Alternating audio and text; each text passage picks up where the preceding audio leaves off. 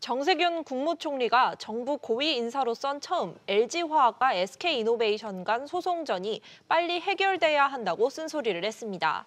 3년째 소송을 하며 수천억 원을 쓰고 있는데 양사가 싸우면 남 좋은 일만 시키는 것이라고 지적했습니다. 총리까지 나서면서 양사 간 막판 합의 가능성에 이목이 쏠리고 있는데요. 취재 기자와 자세히 짚어보겠습니다. 오수영 기자 나와 있습니다. 네, 오 기자, 정 총리가 갑자기 이 이야기를 꺼낸 이유가 뭘까요? 네, 정 총리가 어저께 남 좋은 일이라는 직설적인 표현을 썼는데 이 말에 그 배경이 다 담겼다고 보시면 되겠습니다. 전기차 시대가 본격화하면서 중국과 미국 또 유럽 등 정부가 나서서 산업을 키우고 있는데 여기서 K배터리의 입지를 뺏길 수 없다 이런 의지로 해석됩니다.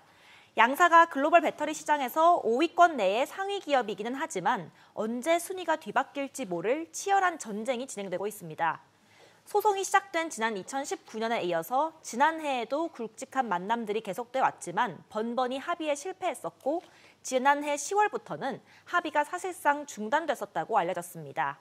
이런 가운데 2주 뒤에 미국 국제무역위원회의 최종 판결을 앞둔 상황에서 정 총리의 이번 발언이 있었던 겁니다. 네, 근데 지금까지는 정부에서도 직접적인 개입을 꺼려왔었죠. 그렇습니다. 그동안에는 주무부처인 산업통상자원부조차 개별 기업 간의 일이다. 이렇게 거리를 둬왔습니다.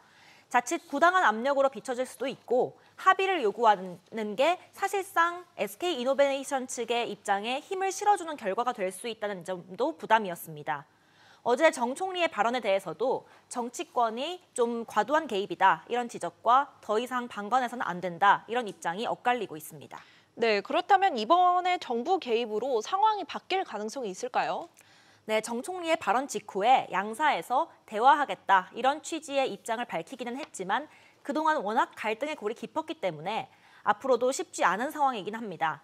다만 한편에서는 정 총리의 개입이 자존심 싸움에 이미 지칠 대로 지쳐 있는 양사에 화해할 명분을 만들어준 게 아니냐는 분석도 나오는데요.